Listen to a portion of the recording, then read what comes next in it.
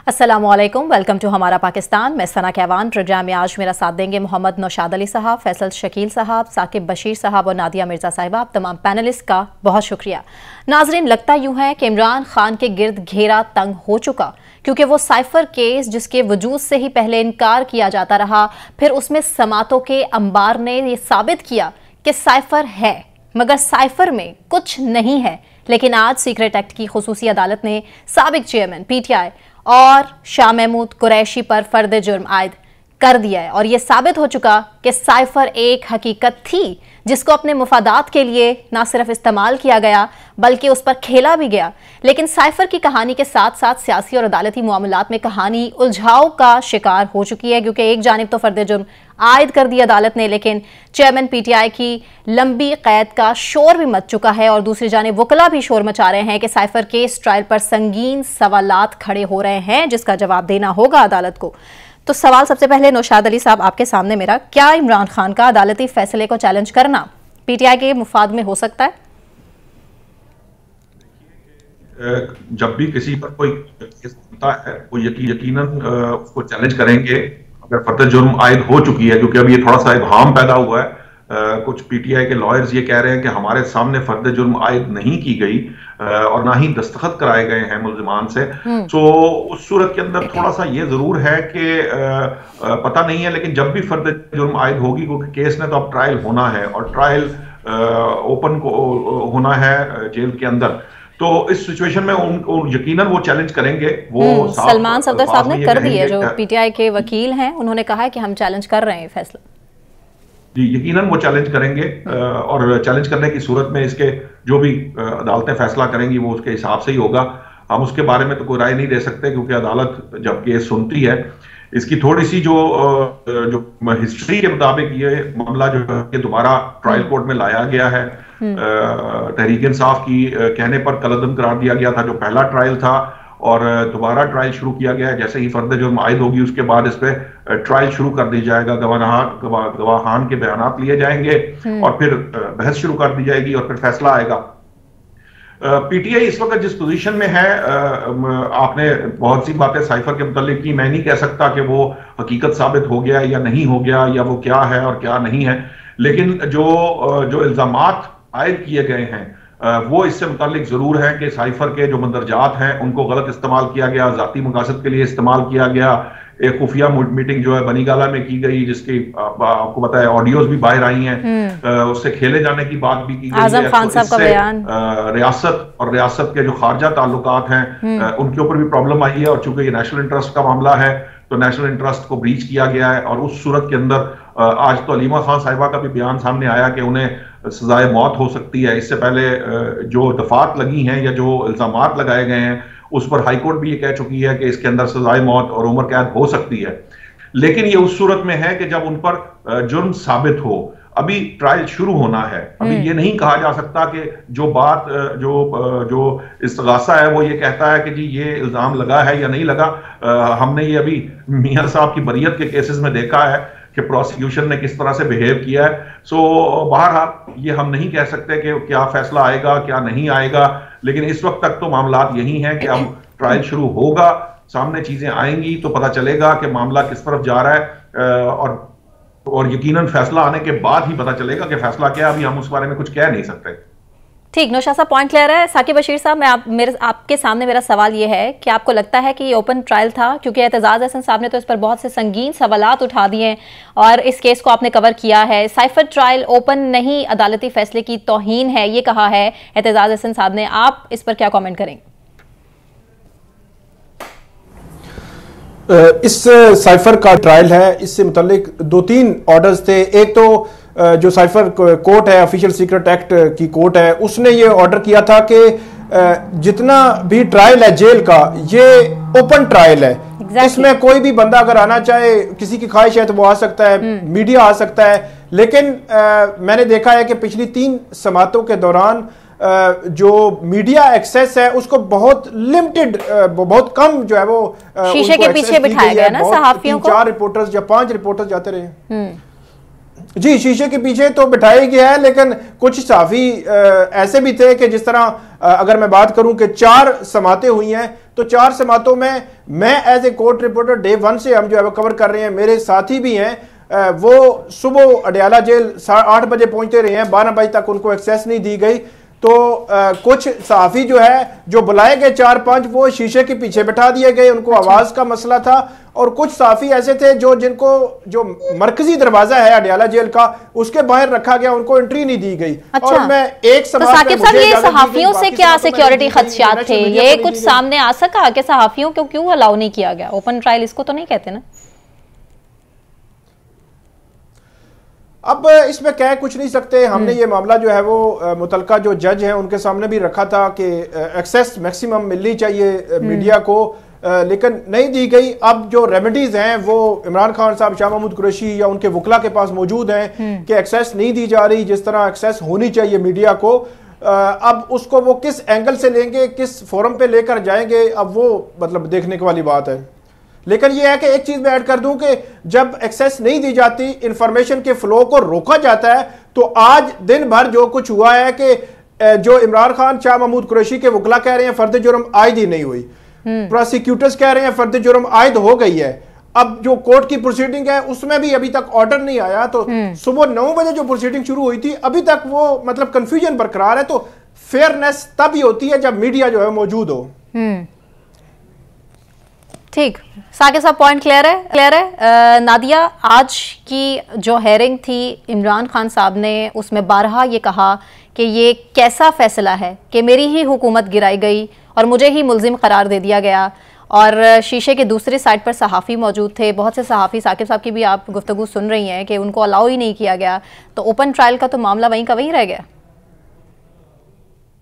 Definitely open trial का मामला आपको याद है ना कि जब ये इजाज़त मिली थी कि सहाफी जो है वो ट्रायल देख सकेंगे अटेंड कर सकेंगे उस वक्त भी बड़े मसले हुए थे और सहाफियों को जाने नहीं दिया गया था। और उसके बाद जब दोबारा से मामला जो है वो टेकअप किया गया उसमें सहाफियों को जाने दिया गया तो हुआ कुछ यूँ कि एक साथी थे जो हम भी सोशल मीडिया और सारा आप देखते रहे कि एक साथी थे if I am not wrong Ehtisham उन्होंने जो उनके आ, आ, उनका एक्सपीरियंस था या जो उनका मुकालमा हुआ वहाँ पर साथियों के साथ इमरान खान साहब का, वो उन्होंने आके बाहर बयान कर दिया जो उनका सपोर्टर वोटर जिसको इमरान खान साहब की तरफ़ से कोई चीज़ नहीं सुनने को मिल रही थी, कोई बात उन तक एक जुमला या दो जुमले भी पहुँचे या वो मंजर कशी हुई तो वो उसमें एक नई रूह जिस तरह से उगती गई वो हमने तमाम सोशल मीडिया पे देखा। ये वजह है कि दोबारा से साथियों को रिस्ट्रिक्ट किया गया कि जी आप जो है वो ग्लास वॉल के पीछे बैठे हैं और ज़ाहिर है वो सुन सही से नहीं पाए और जब रिपोर्ट सही से नहीं होगा तो ये वाली जो मिसअंडरस्टैंडिंग हैं ये तो डेफिनेटली एग्जिस्ट करेगी कि what is the reality what exactly happened inside the court as far is the cipher is concern देखिए साइफर आया खान साहब ने लहराया नहीं लहराया उसके बाद नेशनल काउंसिल उसकी मीटिंग होती है नेशनल सिक्योरिटी काउंसिल की। आ, उसमें आ, तमाम शख्सियात तमाम चीफ थे वो सब बैठे वो कहते जी साजिश नहीं थी मगर मुदाखलत थी तो कुछ तो ऐसा था ना जिसको कहा यह जा रहा है कि सिक्योरिटी ब्रीच हो गई। या जो सिक्योरिटी एक्ट है उसकी खिलाफ वर्जी हो गई उसकी वायलेशन हो गई तो अगर ये वायलेशन हो गई और खान साहब ने वायलेशन कर दी तो इसका मतलब है तो कोई तो ऐसी चीज़ थी जिसको लेके इतना बड़ा इशू और दूसरी और फिर ज़ाहिर सी बात है सारी चीज़ें हमारे सामने है। किस तरह से चीज़ें आगे बढ़ती हैं किस तरह से आगे चीज़ें चल रही हैं तो आ, मैं तो सिर्फ़ एक बात जानती हूँ Sana let me complete last thirty second कि देखिए भुट्टो साहब का अदालती कत्ल हुआ उसका वो जो केस था वो फैसला था वो बिल्कुल सही था। आज हमें बताया जा रहा है कि वो अदालती कत्ल था गलत हो गया। पाँच साल पहले जो नवाज़ शरीफ साहब को सजाएँ मिली थी वो उसका सही थी। आज हमें बताया जा रहा है कि सब गलत था। अब कौन गारंटी लेगा कि आगे जाके जो आज हमें बताया जा रहा है कि ये फैसले उनके खिलाफ सही हो रहे ये ये जुर्म किए हैं इमरान खान ने वो अगले तीन चार सालों में ये नहीं बताया जाएगा कि नहीं जी वो गलत थे फैसले। ठीक है फैसल शकील साहब ये इमरान खान पीटीआई के जो सबक अब चेयरमैन हम उनको यही कह सकते हैं। इमरान खान की जानब से साइफर की बात इसका तो मतलब यही है ना कि इस केस से तो साबित हो चुका कि इमरान खान जो कह रहे थे वो बिल्कुल ठीक कह रहे थे। इमरान खान जो कह रहे थे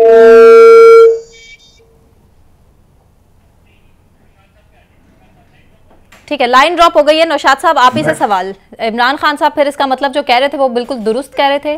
कि मुदाखलत हुई है और हुकूमत गिराई गई है। ये नहीं कहा था कि मुदाखलत हम्म। हुई है। इमरान हम्म। साहब ये कह रहे थे कि पाकिस्तान के खिलाफ साजिश हुई है। मेरी हम्म। हुकूमत के खिलाफ साजिश हुई है। जो। कि इसके मंदरजात के मुताबिक नहीं बनता। अच्छा। नेशनल सिक्योरिटी काउंसिल मीटिंग का जो इंटरप्रिटेशन की गई है वो दुरुस्त नहीं है। नेशनल सिक्योरिटी काउंसिल ने यह कहा कि ये मुदाखलत के हद तक बात समझ में आती है लेकिन कोई साजिश नहीं हुई। अब जिसको मुदाखलत कहते हैं ये तमाम ममालिक एक दूसरे के मामला के अंदर करते भी रहते हैं और ऐसे दर्जनों साइफर जो है वो शायद अगर रोज़ाना की बुनियाद पर नहीं तो हर चौथे पाँचवें दिन ये इशू भी होते रहते हैं। इसमें मामला लेकिन नौशाद साहब भुट्टो साहब भी अपनी किताब में यही कह रहे थे ना कि अमरीका की इन्वॉल्वमेंट है उनका तख्ता उलटने के लिए। भुट्टो साहब ने अपनी किताब में लिखा था ना जुल्फिकार अली भुट्टो साहब की बात कर रही हूँ। शहीद जुल्फिकार अली भुट्टो के अमेरिका की इन्वॉल्वमेंट पाकिस्तान में है। लहराने से कोई ताल्लुक नहीं नहीं नहीं मैं सिर्फ़ आपको इस चीज़ से इन्वॉल्वमेंट कर रही हूँ। कह देंगे जी भुट्टो साहब कुछ भी कह देंगे उसका इमरान खान से कोई ताल्लुक नहीं है। इमरान खान साहब का जो केस है उन्होंने खुद लड़ना है उन्होंने जो किया है वो उसका जवाब देंगे। वो गलत है या सही ये फैसला अदालत ने करना है। हाँ। हमें फैक्ट्स को ठीक रखना चाहिए। नेशनल सिक्योरिटी की पहली मीटिंग के अंदर आर्म फोर्सेस ने और तमाम हुकाम ने बैठकर ये बात कही कि जो इमरान खान साहब का जो जिसमें इमरान खान साहब खुद मौजूद थे हम्म। उसमें यह कहा गया कि ये मुदाखलत ज़रूर हो कहा जा सकता है लेकिन इसको साजिश नहीं कहा जा सकता। फिर दूसरी मीटिंग जो शहबाज शरीफ साहब की क्यादत में हुई, उसमें दोबारा ये मामला जेर गौर लाया गया और फिर बात यही की गई, और आपके जो नेशनल सिक्योरिटी के हुकाम हैं, आपकी जो आपकी फोर्सेस हैं, या जितने कावरीन हैं या हुकाम हैं या मुतलका लोग हैं, उन सब का यह ख्याल था कि ये इसको इसको साजिश करार नहीं दिया जा सकता, जिस तरह इमरान खान ने दिया, एक बात। दूसरी बात यह है कि जो साइफर के मंदरजात हैं वो पब्लिक किए गए हैं। उन मदरजात को आप पब्लिक नहीं कर सकते इसलिए आप सीक्रेट एक्ट का लागू होता है। हम्म। तीसरा जो मामला है वो ये है कि ये ये इस, इसको खेला गया है सियासी या जाति मकसद के लिए। अब ये जो इल्ज़ाम हैं ये दुरुस्त हैं या नहीं हैं इसका फैसला अदालत ने करना है। लेकिन जो जो फैक्ट्स के पॉइंट ऑफ़ व्यू से देखा जाए तो जो जो रूटीन प्रैक्टिस है, उसके मुताबिक साइफर आते रहते हैं साइफर डिकोड होते हैं साइफर उस मशीन का नाम होता है जिसके ज़रिए ये मालूम पहुंचाई जाती हैं। फिर वो डिकोड होती हैं, वो मुतल वो काम जिस जिस, जो से चार अथॉरिटीज है, उन तक पहुँचती हैं। फिर उनके ऊपर डिस्कशन की जाती है। इसके नुकसानात का जो मामला है, ये उस वक्त तक पब्लिक नहीं किया जा सकता, जब इसको, जब तक इसको डी क्लासीफाई ना किया जाए। डीक्लासिफाई करने से पहले अगर आप कोई सीक्रेट चीज़ पब्लिक के सामने रखेंगे तो आप जुर्म के मुर्तकब होंगे। और दूसरी जो इंपॉर्टेंट बात है वो ये है कि देखिए मुझे मैं जाती तौर पर हमारे कुछ दोस्त सफीर हैं जो मुख्तलिफ़ ममालिक पे काम करते हैं उनमें से एक दो से मेरी मुलाकात हुई अरसे के दौरान। अच्छा। उन्होंने ये बात मुझे बताई कि अब हमें अपने काम में खासी मुश्किल पेश आती हैं। वो अमरीका में नहीं है तैनात वो दूसरे दीगर ममालिक में है। लेकिन उन्हें ये मामला, ये जो ये जो मामला हुआ है, ये बेसिकली आपका जो इंटरनेशनल तरीकाकार है काम करने का, उसमें आपके प्रॉब्लम आई है। और जो इंटरप्रिटेशन अभी की गई है नेशनल सिक्योरिटी ब्रीच की नेशनल सिक्योरिटी ब्रीच का उससे ताल्लुक नहीं नेशनल सिक्योरिटी ब्रीच का ताल्लुक इस बात से है कि आपके पास एक राज होता है जिसे आप पब्लिक के साथ शेयर नहीं कर सकते। इसीलिए तीन साल की कदगन भी मौजूद है कि आप जब पब्लिक ऑफ़िस होल्डर हो तो तीन साल तक आप उसके ऊपर गुफ्तगु ना करें। तीन साल बाद आप अवामी के लिए लड़े और फिर अगर कोई बात है तो कर सके। वैसे तो जो एक खास नोयत के सीक्रेट सीक्रेट्स हैं वो कभी भी नहीं बताए जाते कभी भी पब्लिक के सामने अनर्थ नहीं किए जाते। सो बहरहाल ये जो भी मामला है इसमें इमरान खान साहब ने जो कुछ भी किया है ये अदालत तय करेगी। हमें सिर्फ़ फैक्ट्स स्ट्रेट रखने की ज़रूरत है कि फैक्ट्स जो थे वो ऐसे ही थे जिस तरह से बयान किए गए। फैसल शकील साहब इमरान खान का साइफर केस हतमी मराहल में दाखिल हो चुका है।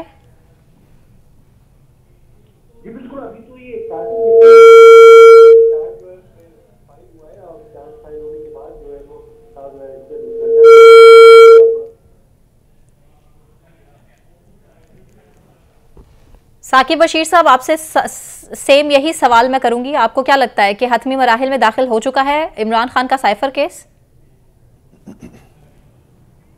अब जब फर्द जुर्म आयद होती है तो बुनियादी तौर पर तो यही होता है कि हतमी मरला तो आप नहीं कह सकते कि एक मेच्योर मरल पहुँच चुका है क्योंकि इसमें अट्ठाईस गवाह हैं प्रोसिक्यूशन हम्म। के और हर गवाह को तलब किया जाता है हर गवाह की स्टेटमेंट होती है उस पर जरा होती है।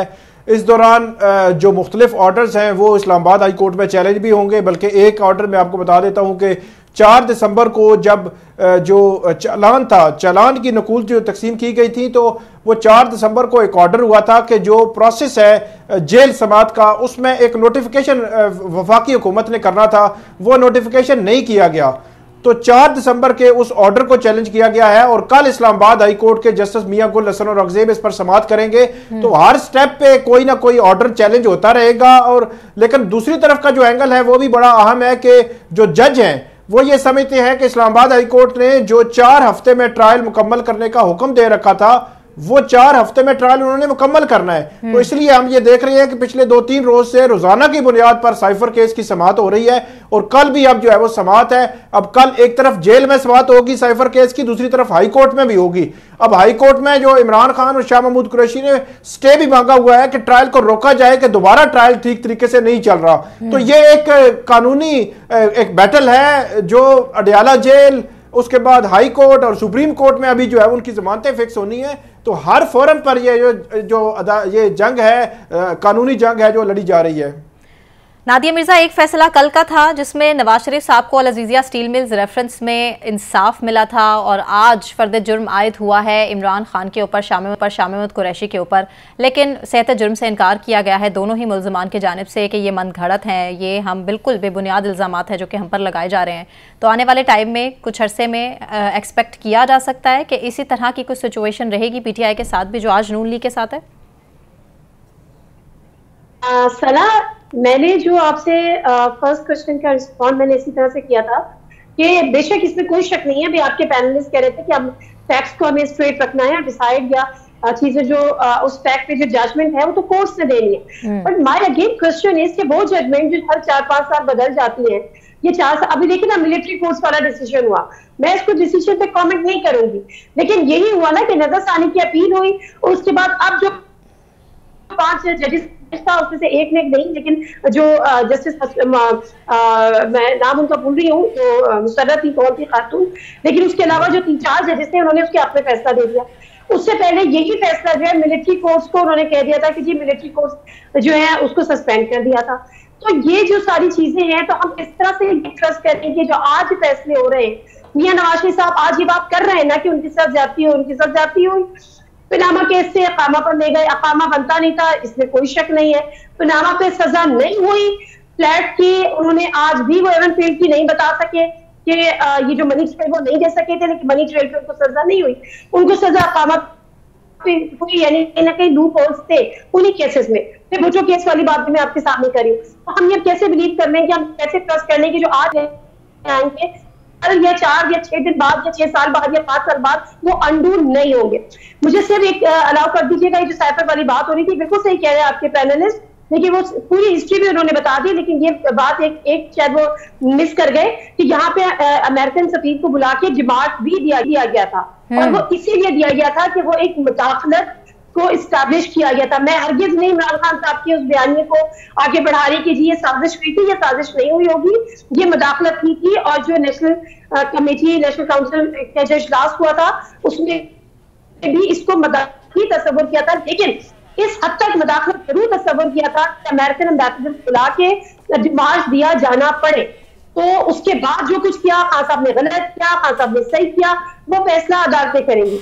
बट अगेन अगर इस तरह से अदालतें अपने फैसले को अंडू करेंगी तो हम हम ये हक जा रहे हैं कि आज हम उन पर हंड्रेड परसेंट बिलीव नहीं करते। हमें नहीं पता कि कल हवाओं की रुख तब्दील हो जाए फैसले तब्दील होना शुरू हो जाए। बिल्कुल ठीक। फैसल साहब मीडिया की एक्सेस लिमिटेड थी। एक लाइन ऐड कर दूँ। जी जी नौशाद साहब। ऐड कर लें। दीजिए डिमार्च करने का मतलब ये कहीं नहीं होता। कि इससे कोई ऐसी चीज़ साबित हो जाए कि जिसमें साजिश का आंसर हो। अभी हमने अफ़गानिस्तान के जो सफीर है उनको डिमार्च किया कई दफ़ा हम इंडिया के सफीरों को डिमार्च करते रहे हैं। दूसरे चंद ममालिक को भी। देखिए बात क्या है? बात ये आप दुरुस्त कह रही हैं।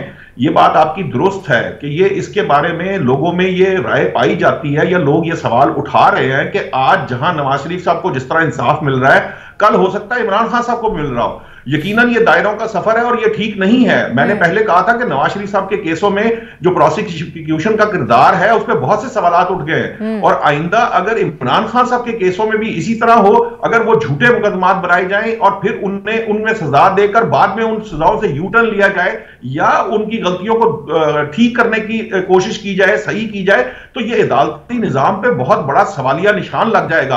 अदालती निज़ाम पे पहले ही आप ये देखें आम आदमी ये सवाल ज़रूर पूछता है कि मियाँ नवाज़ शरीफ साहब को, चलो, मान लिया चार या पाँच साल बाद उनको इंसाफ मिला। यहाँ हज़ारों की तादाद में जेलों में लोग सड़ रहे हैं जिनको कई कई साल शायद दहाइयाँ गुजर जाती हैं। उनकी अपील पे फैसला नहीं होता। वो सजाओं जो उनको सजा हुई होती है उसकी अपील के लिए हाई कोर्ट में दरखास्तें देते रहते हैं। वो हाई कोर्ट में हुई हो तो सुप्रीम कोर्ट को दरखास्तें देते रहते हैं। ये बात दुरुस्त है। निज़ाम अदल के ऊपर सवालिया निशानात मौजूद है। और जो हर गुजरते दिन के साथ नौशाद बढ़ते चले जा रहे हैं। देखिए जब हमारे हमें किसी ना किसी जगह नज़रें अब टिकी काजी साहब पर। तस्लीम करना पड़ता बिल्कुल ठीक नज़रें लेकिन अब काजी साहब पर टिकी है नौशाद साहब अब देखना ये होगा कि क्या हो सकता है जो काजी साहब कर दें और इससे पहले कभी इस तरह ना हुआ हो। फैसल साहब, मुझे सिर्फ़ ये बता दीजिएगा कि आज का जो ट्रायल ओपन ट्रायल था, बड़े सवाल खड़े हो रहे हैं उस पर और जो मीडिया एक्सेस थी, उसको भी काफ़ी लिमिटेड रखा गया। क्या वजूहत हो सकती हैं इसकी?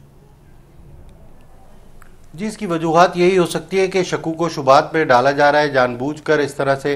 अगर इसमें कोई चीज़ नहीं है तो सबको जो है वो सब कुछ सामने आना चाहिए और सिक्योरिटी थ्रेट से तो इमरान खान अंदर है तो वहाँ पर जो है वो अब क्या सहाफ़ी सिक्योरिटी थ्रेड्स बन गए। जो उन्हें जाने नहीं दिया हाँ, जा रहा पॉइंट है तो यहाँ पर सवाल यही होता है नौशाद साहब ने जो कहा मैं इस बात की तायद करूँगा कि हम्म। अदलिया पर जो है वो सवालिया निशान रख रहा है क्योंकि अदलिया का फैसला था कि ओपन ट्रायल किया जाए और जेल के अंदर जो है सहाफ़ियों को जो है मौका दिया जाए ताकि असल चीज़ सामने आए और इसीलिए इबाम पैदा हो रहे हैं। जो तमाम इबाम हो रहे हैं कि चार्ज फ्रेम हुआ या नहीं हुआ वो इसीलिए हो रहा है। अगर वहाँ पे सहाफ़ी होते और वो जो है रिपोर्टिंग करते सही तो सारी चीज़ें क्लियर होती। ये इबाम नहीं होते और जहाँ तक निज़ाम अदल का है तो आप देख लें कि आज इतने सालों बाद जुल्फ़ार अली भुट्टो साहब का कत्ल केस उस पर जो है वो पूरा पूरा, जो नौ रुकनी जजेस का बेंच बैठा हुआ है। तो उसके बाद अब नवाज़ शरीफ साहब जैसे हो रहे हैं। इसी तरह मुस्तबिल में हम ये देखेंगे कि इमरान खान साहब भी जो है वो, अगर उनको इस केस में सज़ा भी हो जाती है तो आगे जाके वो इसी तरह बाहर होंगे। तो कई सवाल उठ रहे हैं और ये निज़ाम अदल इसको जो है वो सही करने की ज़रूरत है ताकि इंसाफ मिल सके और तहरीक इंसाफ के रहनुमा जो हैं वो इंसाफ की मुतलाशी बने हुए हैं अभी। बिल्कुल ठीक है। मुझे ब्रेक अनाउंस करनी है। ब्रेक से वापस आने के बाद मियाँ मोहम्मद नवाज़ शरीफ के बयानिए के हवाले से हम आपको अपडेट करेंगे। हमारे साथ ही रहिए।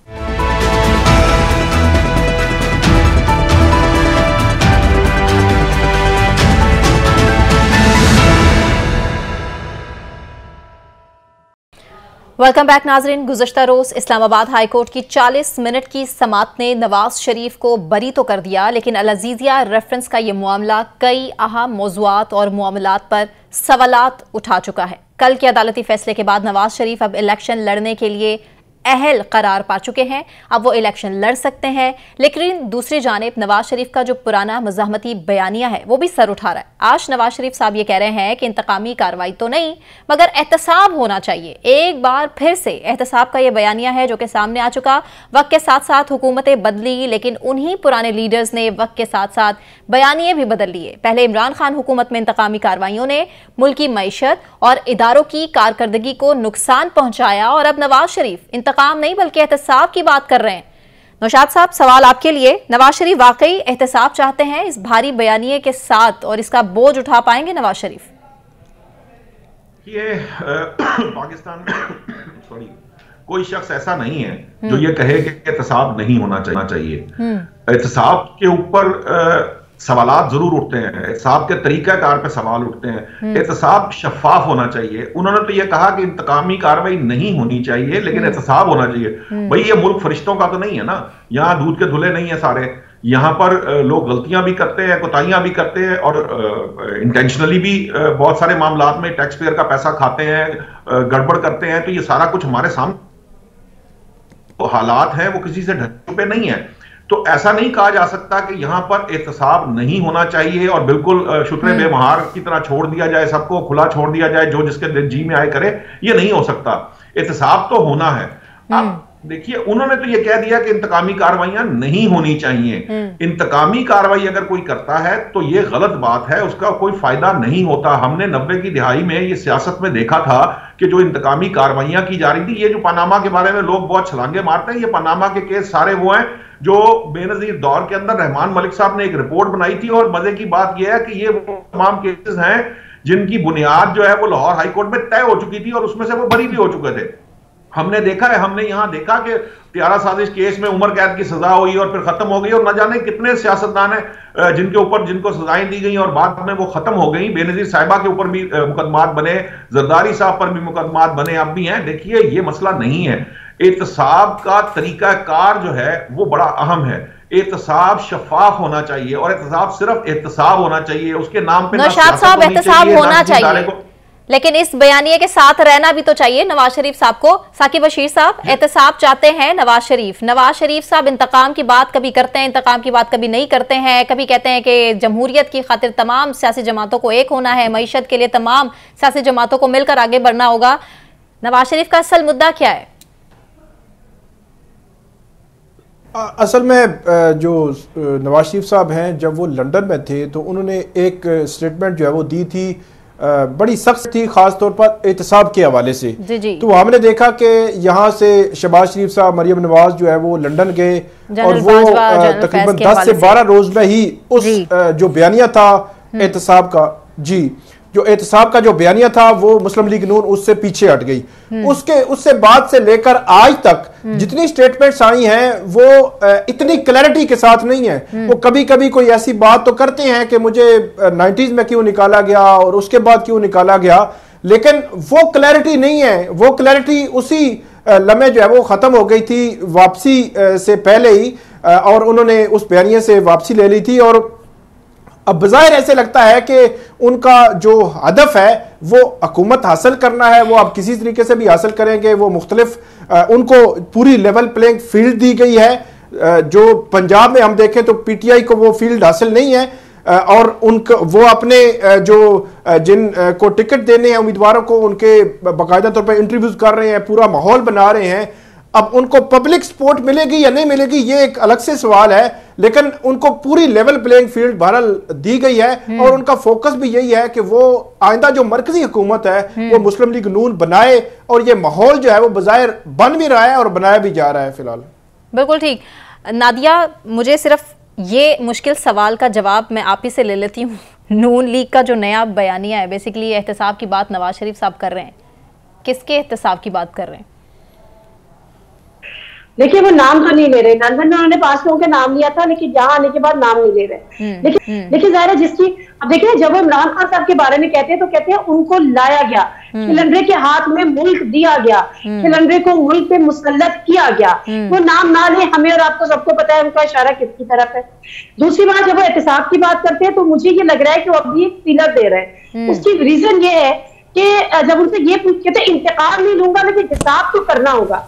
तुरंत सिक्की साहब मेरे प्रोग्राम में थे तो मैंने कहा, सर, क्या तरीके कार होगा? तो उन्होंने कहा, जी, हमने एहतसाब का मतलब ये नहीं है कि हम उनको अदालत के कचहरे में खड़ा कर देंगे हम केसेस बना देंगे।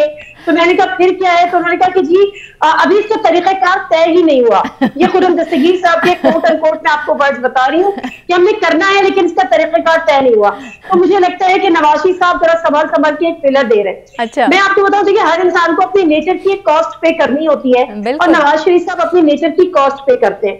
थोड़ा सा आपसे टाइम इसलिए लूँगी 2013 के इलेक्शन में आपको पता है कि धारी अक्सरियत से जीती थी पीएमएलएन होते हैं अक्सरियत उनको मिल गई थी हाँ जी जब उनको वो ये, ये वोट का पता चल गया एक बड़े उनके करीबी साथी ने बताया कि जब मैं उनको मुबारकबाद देने गया तो नवाजी साहब अंदर टहल रहे थे बेचैनी के साथ उन्होंने मुबारकबाद दी उन्होंने कहा अब आप क्यों परेशान है हम्म। उनका वो तो ठीक है कि मुझे इतने वोट मिल गए हम्म। लेकिन मसला ये है कि मुझे मुझे मुशर्रफ से बदला ज़रूर लेना है 99 का कि उन्होंने किस तरह से निकाला हम्म। तो ये जो नवाज़ शरीफ साहब हैं उनकी अपनी एक नेचर है वो इतनी आसानी से चीज़ों को भूलते नहीं है।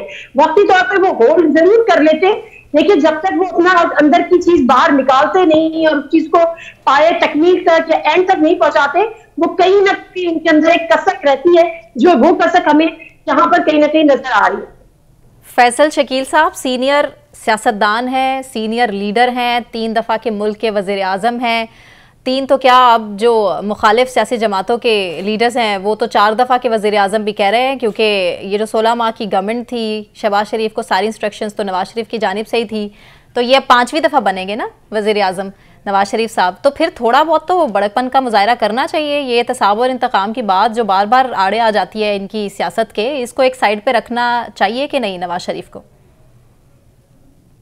बिल्कुल इनको जो है वो साइड पे रखना चाहिए। मैं आपको बताऊँ एहतसाब की आड़ में इंतकामी कार्रवाइयाँ होती हैं। वो हर एक दौर में हुई हैं। आप देख लें नवाज़ शरीफ साहब के ही दौर में हुई हैं। सैफुर रहमान साहब जो थे वो किस तरह से एहतसाब किया गया? वो उस वक्त क्या एहतसाब नहीं हुआ था जो पीपल्स पार्टी वालों के साथ हुआ था। इस तरह पीपल्स पार्टी वालों ने जो नवाज़ शरीफ साहब के साथ किया उसके अलावा इमरान खान साहब के साथ जो अब हो रहा है तो एहतसाब तो ज़रूरी है। माशरे को जो है वो सही सिमत में रखने के लिए मुल्क के लिए एहतसाब ज़रूरी है और एहतसाब लेकिन फैसल शकील साहब ये काफ़ी हद तक पर्सनल हो जाता है सियासी जमातों के लिए। अवाम इसमें हार जाते हैं जमहूरियत हार जाती है मीशत बुरी तरह से जो है वो बिल्कुल इससे बेड़ा गर्क होता है मीशत का। बदतर हो जाती है के चक्कर में हम्म। पूरे जो है वो मीशत का बेड़ा गर्क होता है गरीब आवाम जो है वो रुल गई है। हम्म। वो इसी चक्कर में रुल गई है ना वरना पाकिस्तान के पास क्या चीज़ नहीं है? हम्म। पाकिस्तान कहाँ खड़ा होता? अगर ये आपके इंतकामी सियासत और लूट मार की अब नवाज़ शरीफ साहब की बात ले रहे हैं उनको सात साल बाद जो है वो इंसाफ मिल गया बकौल उनके। आ, लेकिन इस सात सालों में मुल्क का क्या नुकसान हुआ वो भी सामने है। हम्म। अच्छा अब इमरान खान साहब के लिए आप ये कर रहे हैं तो अब इमरान खान साहब जब वापस आएँगे तो वो भी एक नया एहतसाब शुरू करेंगे जो वो होगा एहतसाब वो किस तरह से होगा। तो ये सिर्फ़ और सिर्फ़ पता कि हमारे मुल्क में सिस्टम जो है वो नहीं है किसी किस्म का। सियासी तौर पर जो भी आ जाता है इकतदार में वो अपने मुखालफी का एहतसाब के नाम पर इंतकामी कार्रवाइयाँ करता है और वो इंतकामी कार्रवाइयाँ जारी हैं। हैं अब तहरीक इंसाफ के साथ की जा रही हैं। यही वजह है कि अब जो है वो इनको रिलीफ मिल रहा है और वो जो है वो उन पर केसेस बन रहे हैं और उन पर फ़र्द जुर्म आयद हो रहा है। तो ये जब तक इस सिस्टम को तब्दील नहीं किया जाएगा मैं ये समझता हूँ कि मुल्क की बेहतरी नहीं होगी और ना ही इदारों की बेहतरी होगी इस सिलसिले में आ, जो इदारे हैं हमारे ख़ास तौर पर वो इदारे जो लाते हैं लाडले बनाकर हम्म। उन्हें जो है वो ख़ास तौर पर देखना चाहिए कि मुल्क का क्या हाल हो रहा है और मुल्क की बेहतरी किसमें होगी नौशाद साहब, ये इंतकाम सिर्फ़ सियासी जमातों के बीच में नहीं, ये जो मुख्तर हलके हैं, जो पॉलिसी मेकर्स हैं, उनके दरमियान भी, सियासतदानों के दरमियान भी एक इंतकाम और अंदर एक जंग छिड़ी रहती है। उसके ख़त्म होने का भी वक्त आ चुका। आपको नहीं लगता कि अब मुल्क ये बर्दाश्त नहीं कर सकता, इस चीज़ का मुतामिल नहीं है कि अब मीशत को किसी किस्म का भी नुकसान पहुँचे? दो बातें पहले मैं ठीक कर दूँ कि 2013 में दो तिहाई अक्सरियत नहीं थी नून लीग के पास और दूसरी हम्म। बात यह है कि नवाज़ शरीफ अभी इलेक्शन लड़ने के अहल नहीं है जब तक ना नाहली की मुद्दत का तयन नहीं हो जाता अच्छा। जो सुप्रीम कोर्ट में जेर समात है और जनवरी के दूसरे हफ़्ते की तारीख है उस वक्त तक नवाज़ शरीफ अभी इलेक्शन नहीं लड़ सकते चले वो दिन दूर नहीं है लेकिन नौशाद साहब उसमें भी क्लैरिटी हो जाएगी उसमें भी हकीकत मतलब खुलकर सामने आ जाए मैं कह रहा हूँ फॉर द टाइम बीइंग ये सिचुएशन ऐसी ही है। अब दूसरा मामला ये है देखिए ये बात दुरुस्त है कि हमारे यहाँ एहतसाब के इंतजामी कार्रवाइयाँ की जाती रही हैं। हम्म। हो सकता है कि आज भी ऐसा हो रहा हो हम्म। लेकिन रियासत के कहीं ना कहीं ये रियलाइजेशन मौजूद है। दो रियलाइजेशन रियासत के अंदर हमें नज़र आई हैं। ये जो आप समझिए कि पिछली पीडीएम गवर्नमेंट और उसके बाद जो इंटरन सेटअप्स आए हैं इसके दौरान दो रियलाइजेशन हमें नज़र आई है। एक ये कि रियासत जो है, वो ये तय कर चुकी है कि पॉलिसी की जो तब्दीली है, उससे बहुत नुकसान उठाता रहा है पाकिस्तान और पॉलिसी को एक एक सिंगल ट्रैक पे चलाया जाना चाहिए। आप जो भी पॉलिसी तय करें, उसमें इस तरह से तब्दीलियाँ नहीं होनी चाहिए और हर कोई पॉलिसी को आकर तब्दील ना कर सके। एक बड़ा मामला। दूसरा मामला यह है कि रियासत ने कहीं ना कहीं अपनी गलतियाँ भी तस्लीम करना शुरू की हैं ये हमें हम्म। नज़र आ रहा है आप इसको कुछ भी नाम दीजिए किसी की तरफ़ से भी नाम दीजिए इसका इसका फ़ायदा किसी को भी हो रहा हो लेकिन रियासत कहीं ना कहीं ये समझ रही है कि इन गलतियों की वजह से जो नुकसान हमें उठाने पड़ रहे हैं उनको अब खत्म होना चाहिए और इसके अदाले का वक्त है अब ये हम्म। दो हद तक कंटिन्यू हम्म। की जाती है। आने वाली हुकूमत मुंतखब हुकूमत इनको कंटिन्यू किस तरह से करती है? अगरचे रियासत इस बात को इंश्योर करना चाहती है हम्म। कि ना पॉलिसियों का तसलसल टूटे और ना ही ये जो रियासत है मजीद की मुतहमल हो क्योंकि हो ही नहीं सकती। अब हम उन हालात में है ही नहीं। अब हमारी मीशत इस बात की इजाज़त नहीं देती। आम आदमी इंतकाम इंतकाम खेला जाए। अब तो मिल बैठकर काम करने का टाइम आ चुका। दूसरे ममालिक देख लें हम इंडिया देख लें हम पता नहीं श्रीलंका से भी नीचे पहुँच चुके हैं लेकिन हम वही इंतकाम की सियासत से बाहर नहीं आ रहे। नादिया आपके लिए मेरा सवाल राना सनाउल्ला साहब कह रहे हैं कि नवाज़ शरीफ के खिलाफ झूठे केस बनाने वाली कुतें अंजाम को पहुँची? क्या वाकई अंजाम को पहुँची? पता नहीं उनको कौन सा अंजाम नज़र आ रहा है? एक तो यस मैं तस्वीर कर लूँ भी आई गेस निशान जो कह रहे हैं सही कह रहे हैं दो तिहाई अक्सरियत थी सादा अक्सरियत थी and thank you very much for the correction and Rana Sanaullah साहब का मुझे नहीं पता अगर वो uh, इस uh, उस पर uh, अपने एहसाब को या पता नहीं किस जगह पर वो पहुँच गई है। मुझे तो दिखाई नहीं देता और अगर पहुँच गई है तो फिर नवाज़ शरीफ साहब का अपना बयानिया खुद ही वो डबरडूस हो गया कि जी आप जो है हमने हिसाब लेना है और हमने हिसाब करना है और हिसाब का आपके पास तरीक़ेकार नहीं है आप नाम किसी की वजह नहीं करते। तो ये तो देखिए जी एक सियासी बयान है और असल मामला क्या है? असल मामला ये है कि जो पॉपुलर वोट है वो किधर जाएगा? देखिए नवाज़ शरीफ साहब आज जो बातें कर रहे हैं उसका एक रीजन और भी है। वो एक रीजन ये है कि हमारे यहाँ जितनी भी इलेक्शन कैंपेन होती है जब भी होती है तो एंटी एक होता है ना कि जी एंटी स्टैब्लिशमेंट बयानिया जो है वो आपका बड़ा बिकता है वो बड़ा सेल होता है। 2018 के इलेक्शन में आपको याद है वोट को इज़्ज़त दो वाला जो बयानिया था नवाज़ शरीफ साहब का या पीएमएनएन का था वो उसका जादू सर चढ़ के बोल रहा था। वो अलग बात है कि वो खुद ही उसको मेंटेन नहीं कर सके और जिस तरह से भी जो कुछ चीज़ें हमारे आपके सामने आई, उसके बाद उन्होंने एक्सटेंशन दी और ये सारी चीज़ें। और अब जो मामलात है, जब पीटीआई की हुकूमत थी तो मरीम नवाज़ शरीफ साहबा, एक महँगाई मुकाम मार्च उन्होंने किया, जब वो गुजरा वाला इफ़ आई नॉट रॉन्ग पहुँची, उनसे ये सवाल किया कि जी वोट को इज्जतों वाला मामला कि जी, वो रिस्पॉन्सिबल थे उसमें वो बाजा साहब का नाम भी लेते थे तो उन्होंने नेक्स्ट क्वेश्चन करके बात टाल दी। तो जब आप अपने मौके पर आप वोट को इज़्ज़त देने की बात करते हैं उसके बाद आप मट्टी पाव वाली बात करते हैं तो आपकी सियासत को नुकसान होता है। नवाज़ शरीफ साहब जो सब मजबूर हुए कि दोबारा से वो एंटी स्टैब्लिशमेंट वाली बात करें या एहतसाब वाली बात करें। कि जी मुहासबा हो एहतसाब हो उसकी वजह ये है कि उनको उनके भी उनको ये सूट नहीं कर रहा। उनकी एक बड़ी देखिए बड़ी खदमात है उन्होंने बहरहाल उनका सियासत में एक बहुत बड़ा रोल रहा है। हर किस्म की सियासी जो अप एंड डाउन होते हैं उन्होंने अप्स एंड डाउन देखे हैं। अब ऐसे मौके पे जब चालीस साल बाद भी कोई इलेक्शन कॉन्टेस्ट करे वो सुरखुद हो अपने केसेस से और उन पर ये लेवल लग जाए कि जी वो सिलेक्टिव वज़ीर आज़म होंगे या सिलेक्टिव प्लस होंगे या लाडला प्लस होंगे तो वो उनको तकलीफ़ तो देगा। बिल्कुल ठीक। डैमेज तो उनकी पॉलिटिक्स को करेगा। तो वो यही वजह है कि वो बहुत ज़्यादा एक्सट्रीम पे भी नहीं जा रहे नाम भी नहीं ले रहे और उन पे केसेस बनाने की बात भी नहीं कर रहे उनको अदालतों में घसीटने की बात भी नहीं कर रहे। वो सिर्फ़ ये कहते हैं जी हिसाब हिसाब तो लेना होगा।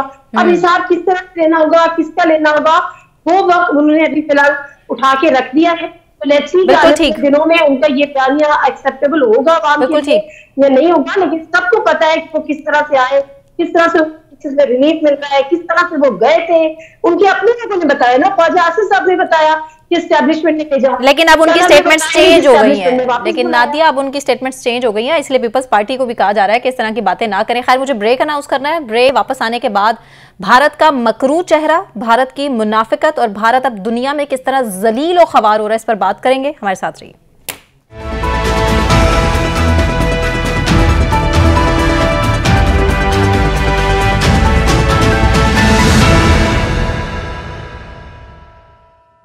वेलकम बैक नाजरीन। भारत जो खुद को दुनिया की सबसे बड़ी जमहूरी ताकत करार देता है, उसको अपनी ही खुफिया एजेंसीज की वजह से इंटरनेशनल सतह पर शर्मिंदगी का सामना करना पड़ रहा है।